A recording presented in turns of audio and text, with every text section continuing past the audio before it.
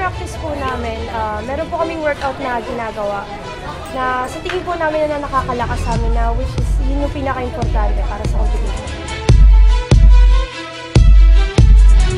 Ah, sa tingin po namin, ah, kahit na most of my, our members are new, ah, with, ah, I think na we still dance as one.